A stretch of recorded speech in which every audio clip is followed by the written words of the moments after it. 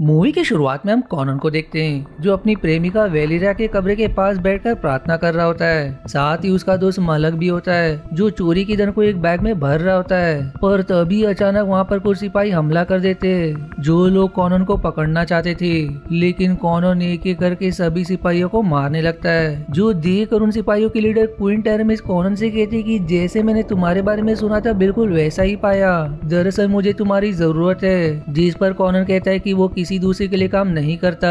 जिस पर फिर क्वीन टेरेमेस कहती कि अगर तुम मेरा काम करोगे तो मैं तुम्हारी सबसे बड़ी इच्छा को पूरी कर दूँगी। यानी कि मैं तुम्हारी प्रेमिका को पुनर्जीवित कर दूँगी, जो सुनकर कॉनन उसके काम को करने के लिए तुरंत मान जाता है। अब इसके बाद क्वीन उसे अपने महल में लेकर जाती है, जहाँ पर वो कॉनन को उसके बारे में बताते हुए कहती है कि खुफिया किले में एक चाबी रखी हुई है। जिसको टूट एमोन नाम का एक जादूगर गार्ड कर रहा है। और उस चाबी को वही छू सकता है जिसके शरीर पर एक खास निशान हो। और वो खास निशान राजकुमारी जैना के शरीर पर है। इसलिए तुम्हें राजकुमारी को लेकर वहाँ जाना है, ताकि वो चाबी को वहाँ से ला सके। जिस पर अब कौन उससे सवाल करता है कि आखिर उस चाबी से खुलता क्या है? इस पर क्वीन बताती कि उस चाबी से खजाने का दरवाज़ा खुलता है, जिसके अंदर एक हॉर्न यानी कि सिंह रखा हुआ है। और उस जगह तक जाने का रास्ता केवल राजकुमारी को ही पता है। और अगर तुम उस हॉर्न को लाने में कामयाब होते हो तो मैं उस हॉर्न की मदद से तुम्हारी प्रेमिका को ज़िंदा कर दूँगी। और तभी वहाँ पर राजकुमारी की चिल्लाने की आवाज़ सुनाई देती है, जो कोई डरावना सपना देखकर घबरा गई होती है। इसलिए अब क्वीन उसे अपने जादू से सुला देती है, जिसके बाद वो कैप्टन ऑफ़ गार्ड बॉम्बाटा को कहती है कि जैसी राजकुमारी को वो हॉर्न मिले, तुम कॉनर को मार देना। और वहीं ध्यान रहे कि राजकुमारी यहाँ वापस लौटने तक वर्जिनी रहे, ताकि हम सपनों के देवता जैगो के सामने राजकुमारी की बलि दे सके। वहीं कॉनर को इस बात की जरा सी भी खबर नहीं होती कि रानी उसके साथ चाल चल रही है। अब अगले दिन वो सब सफ़र के लिए निकल पड़ते जिसके बाद कॉनन अपने जादूगर दोस्त अकीरों से मदद लेने के लिए जाता है। लेकिन वो देखता है कि कुछ आदिवासी अकीरों को पकड़कर जलाने जा रहे हैं। जो देखकर कॉनन और उसके लोग उन आदिवासियों पर हमला कर देते। जिसके बाद आदिवासी उन सबसे डर कर वहाँ से भाग जाते। दरअसल वो आदिवासी अकीरों को मारकर खाना चाहते थे, क्योंकि वो सोचते थे कि अकीरों को मारकर खाने से उसकी जादू की शक्तियाँ उन सबको मिल जाएँगी। फिर इसके बाद कॉनन अकीरों को अपने साथ चलने के लिए कहता है, जो सुनकर अकीरों तुरंत मान जाता है। अब इसके बाद वो सब आगे सफ़र की ओर निकल पड़ते। जहाँ सफ़र के दौरान कॉनर उसके साथ ही देखते कि कुछ लोग जूला नाम की एक महिला डाकू को घिर कर मारने की कोशिश कर रहे उन लोगों ने जूला के बाकी साथी को मार दिया होता है। इसलिए अब वो लोग जूला को भी मारने पड़ते जो देख कर अब राजकुमारी कॉनन से उसे बचाने के लिए कहती है। जिस पर अब कॉनन जूला के जंजीर को काट देता है। जो देख कर जूला खुश हो जाती है। अब जूला को आज़ाद करने के बाद कॉनर उसके साथी वहाँ से निकल जाते हैं। और इधर जूला भी उन लोगों को मारते हुए वहाँ से निकलने में कामयाब हो जाती है। जिसके बाद वहाँ से सीधे कॉनर की ओर जाती है। लेकिन तभी बोम्बटा जूला के पास जाकर उसे अपने साथ आने से रोकता है, क्योंकि वो सोचता है कि अगर वो साथ में रही तो कॉर्नर को मारने में प्रॉब्लम हो सकती है। लेकिन जूला कॉर्नर के साथ में ही जाना चाहती है। इस वजह से वो बोम्बाटे से लड़ने लगती है, जो देख कर कॉनन तुरंत आकर उनकी लड़ाई रोक देता है। अब यहाँ पर जूला कॉनन से कहती है कि आपने मेरी जान बचाई है। इस वजह से अब मैं पूरी उम्र आपकी हिफाजत करना चाहती हूँ। जो सुनकर कॉनर उसे भी अपने ग्रुप में शामिल कर लेता है। फिर कुछ दिनों के सफ़र के बाद उन सबको किला दिखाई देता है, जो समुद्र के बीचों बीच होता है। लेकिन अब रात भी होने वाली होती है। इसलिए कॉनन सब लोगों से किले में अगली सुबह जाने के लिए कहता है। दूसरी तरफ़ जादूगर भी अपने जड़ों से उन लोगों को यहाँ पर आता हुआ देख जाता है। जिसके बाद अब रात में जादूगर एक बहुत ही बड़ी चिड़िया के रूप में बदलकर उन लोगों के पास में आता है, जो इस समय सो रहे होते उन लोगों को अब सोता हुआ देखकर जादूगर चुपके से राजकुमारी को उठा ले जाता है। आप सुबह में जैसे ही सब लोगों को पता चलता है कि राजकुमारी वहाँ पर नहीं है तो वो सब घबरा जाते हैं। जिसके बाद अब अकीरो अपने जादू से कॉनर को बताता है कि वो जादूगर ही राजकुमारी को अपने साथ किले में ले गया है। जो जानकर कॉनर और उसके साथ ही तुरंत एक नाव में बैठकर किले की ओर निकल जाते हैं। अब वहाँ पर पहुँचने के बाद उन्हें अंदर जाने का कोई भी रास्ता नहीं मिलता। जिसके बाद अकीरो अपने जादू से एक रास्ता पता करता है, जो पानी के अंदर से होता है। इसलिए अब सब लोग पानी में कूद जाते और किसी तरह से महल के अंदर जाने में कामयाब हो जाते। महल के अंदर अब कॉनर को एक दरवाज़ा दिखाई देता है, लेकिन कॉनर जैसे ही उस दरवाजे के अंदर से जाता है तो वह दरवाज़ा तुरंत ही बंद हो जाता है, जिससे कॉनर उस कमरे में अकेले ही फंस जाता है। तभी वहाँ पर जादूगर जादू से अपना एक एक प्रतिबिंब बनाता है, जो एक राक्षस की तरह दिखाई दे रहा होता है, और फिर वो राक्षस कॉर्नर पर हमला कर देता है। यहाँ पर कॉर्नर उसे तलवार से मारने की कोशिश करता है, लेकिन राक्षस जादू का ही एक प्रतिबिंब था।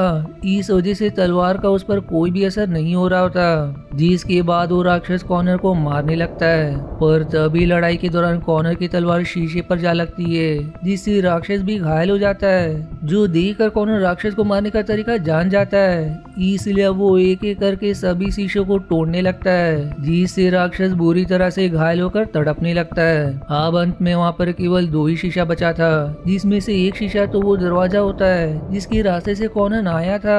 इससे वो समझ जाता है कि जादूगर दूसरे शीशे के पीछे छुपा होगा। जो समझते ही वो तुरंत अपनी तलवार से उस शीशे पर हमला कर देता है, जिससे तलवार सीधे जादूगर के पेट में जा लगती है, जिससे उसकी वही मौत हो जाती है। पर तभी वहाँ पर राजकुमारी के चिल्लाने की आवाज़ सुनाई देती है, जो सुनते ही सब लोग तुरंत वहाँ दौड़ कर जाते हैं। वहीं अब राजकुमारी उस चाबी वाले कमरे में जाती है और वहाँ से उस चाबी को उठा लेती है, जो एक हीरे की तरह होती है। लेकिन चाबी उठाते ही वो किला अब डहने लगता है जो देख कर कौरन सब लोगों को वहाँ से लेकर नाव में आ जाता है और फिर वो लोग किसी तरह से वहाँ निकलने में कामयाब हो जाते हैं। अब इसके बाद राजकुमारी उन्हें खजाने वाले महल में जाने के लिए लीड करती है। लेकिन अब रास्ते में क्वीन के प्लान के अनुसार उसके सिपाही कॉर्नर और उसके साथियों पर हमला कर देते हैं। इसलिए अब कॉनर और उसके साथी भी उन पर जवाबी हमला करते हुए सारे सिपाहियों को मारने लगते हैं। पर तभी कॉर्नर देखता है कि एक सिपाही राजकुमारी को लेकर वहाँ से भागने की कोशिश कर रहा है। जो देख कर उसका पीछा करके उसे मार गिराता है। लेकिन तभी वहाँ पर बॉम्बाटा भी कॉर्नर पर हमला कर देता है। जो जानकर कॉर्नर चौक जाता है। पर अब कॉर्नर की पूछने पर वो कहता है कि मुझे लगा कि तुम राजकुमारी को यहाँ से ले जाने की कोशिश कर रहे हो। इस वजह से मैंने तुम पर हमला किया था। पर अभी सुनकर कॉर्नर को उस पर थोड़ा शक हो जाता है। पर वो अभी के लिए कुछ नहीं कहता। अब इसके बाद वो लोग एक जगह पर रात गुजारते हैं। और फिर दिन होते ही राजकुमारी उन्हें लीड करते हुए आगे बढ़ती है। पर अब एक जगह पर रास्ता थोड़ा पतला होता है। इस वजह से वो सब पैदल ही आगे बढ़ते हैं। पर फिर कुछ देर में वो सब महल के पास पहुँच जाते हैं, जिसके बाद वो सब महल के अंदर प्रवेश करते हैं। अब यहाँ महल के अंदर उन्हें एक विशाल सा दीवार वाला दरवाज़ा दिखाई देता है, जिसे कॉनन और बॉम्बाटा दोनों मिलकर खोलने में कामयाब हो जाते हैं। जिसके बाद वो सब उस दरवाजे से एक कमरे में पहुँचते हैं। यहाँ पर एक हीरो दीवार पर लिखे एक लेख को पढ़कर समझ जाता है कि अंत में इस लड़की की बलि चढ़ाई जाएगी, जो जानकर वो कॉनर को इसके बारे में बता देता है। लेकिन कॉनर को उसकी बात पर विश्वास नहीं होता।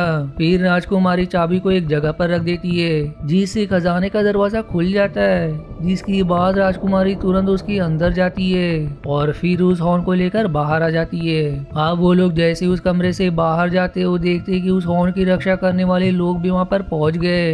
इसलिए वो लोग हॉर्न और लड़की को उन लोगों को सौंपने के लिए कहते हैं, क्योंकि वो लोग खुद ही उस लड़की का कई सालों से इंतज़ार कर रहे थे, ताकि उसकी मदद से वो लोग भी सपनों के देवता को जीवित कर सके।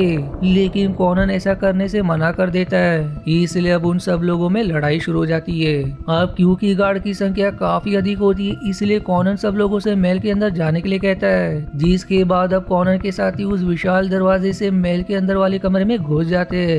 और फिर बॉम्बर्टा लीवर को खींचकर दरवाजे को बंद करने लगता है, ताकि कॉनन दरवाजे की दूसरी साइड ही फंस जाए। लेकिन कॉनन दरवाजे के बंद होने से पहले ही कमरे में आ जाता है, जिसके बाद गार्ड का लीडर जो एक जादूगर भी होता है, वो अपने जादू से उस दरवाजे को खोलने लगता है। अब ये देखकर राजकुमारी कहती है कि तहखाने के रास्ते से हम लोग बाहर निकल सकते हैं, इसलिए वो सब तहखाने वाले रूम की ओर बढ़ने लगते है। पर वहीं दूसरी तरफ़ जादूगर दरवाजे को खोलने में कामयाब हो जाता है। इधर कॉनर उसके साथ ही तहखाने वाले रूम में घुसकर उसके दरवाजे को बंद कर देते, लेकिन जादूगर इस दरवाजे को भी अपने जादू से खोलने लगता है। जो देख कर अब अकीरो भी अपने जादू का प्रयोग करके उस दरवाजे को बंद करने की कोशिश करता है। और अंत में अकीरो कामयाब भी हो जाता है। आप दरवाजे को बंद करने के बाद वो सब तहखाने के रास्ते बाहर की ओर जाते हैं। लेकिन तभी बोम्बाटा तहखाने की एक दीवार को तोड़कर कौन और उसके साथियों को बीच में ही रोक देता है। और फिर वो राजकुमारी को लेकर बाहर निकल जाता है। अब यहाँ पर जब राजकुमारी उसके बाकी लोगों के बारे में पूछती है, तब बोम्बाटा राजकुमारी से झूठ कहता है कि वो लोग आ रहे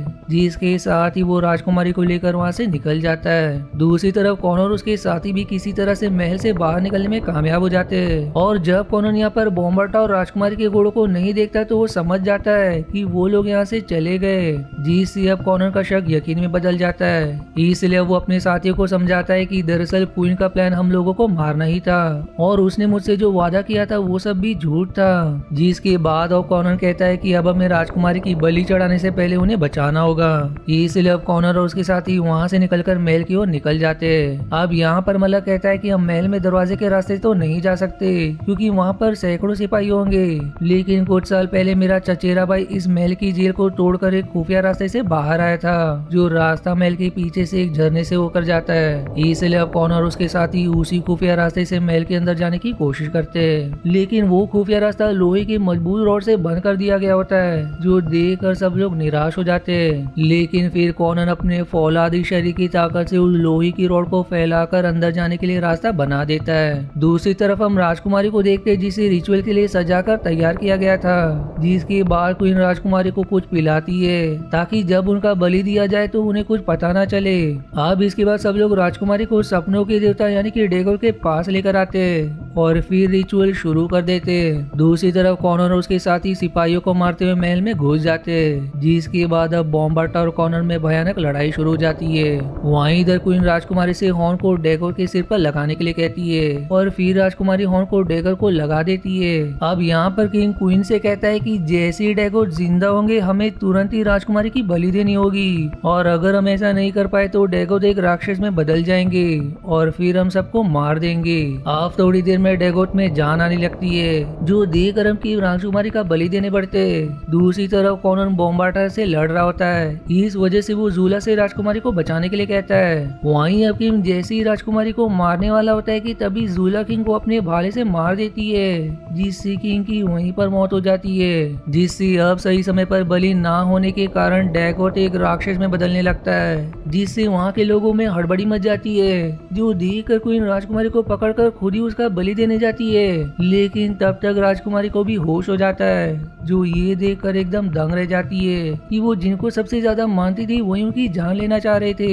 इस वजह से अब वो क्वीन से बचने की कोशिश करती है। दूसरी तरफ़ कॉनर बॉम्बाटा को मारने में कामयाब हो जाता है, जिसके बाद वो राजकुमारी को बचाने के लिए रिचुअल वाली जगह पर पहुँच जाता है। जहाँ पर अब वो जैसे ही देखता है कि क्वीन राजकुमारी को मारने पड़ रही है, वो तुरंत ही वहाँ पहुंचकर क्वीन को धक्का दे देता है, जिससे क्वीन डेगोर के पास गिरती है, जो अब पूरी तरह से राक्षस में बदल गया होता है, जो अब क्वीन के पेट में अपने हॉर्न को घुसा कर उसे मार देता है, जिसके बाद अब कॉनन डेगोर से सबको बचाने के लिए अकेले ही लड़ने लगता है। लेकिन डेगोर काफ़ी शक्तिशाली होता है, इस वजह से कॉनन को बुरी तरह से घायल कर देता है। जो देख कर अकीरो कॉनन से कहता है कि उसकी शक्ति उसके हॉर्न में है। इस वजह से वो उसके हॉर्न को निकाल दे, ताकि उसकी शक्ति कम हो जाए। अब ये जानकर कॉनन तुरंत ही उसके ऊपर कूद जाता है और फिर उसके हॉर्न को निकाल देता है। जिसके निकलते ही डेगो तड़पने लगता है, जिसके बाद कॉनन अपनी तलवार को उसके शरीर में घुसा कर उसे मार देता है। अब मूवी के आखिरी अंत में हम देखते हैं कि राजकुमारी उस राज्य की रानी बन जाती है, जिसके बाद वो जूला को सिपाहियों की लीडर बना देती है और फिर अकीर और मलक को भी अपने राज्य में एक पद सौंपती है। अंत में वो कॉनन से साथ मिलकर उस राज्य पर राज करने के लिए कहती है, लेकिन कॉनन राजकुमारी से कहता है कि वो अपने खुद के बनाए राज्य पर ही राज करेगा, जिसके बाद वो सब लोगों से विदा लेकर वहाँ से निकल जाता है। जीसी के साथ ही मूवी यही समाप्त हो जाती है। आशा है आपको मेरी एक्सप्लेनेशन पसंद आई। यदि हाँ तो प्लीज़ वीडियो को लाइक करना और चैनल को सब्सक्राइब करके सपोर्ट करना ना भूलें। मिलते हैं अगले एक्सप्लेनेशन वीडियो में। तब तक लिए धन्यवाद दोस्तों।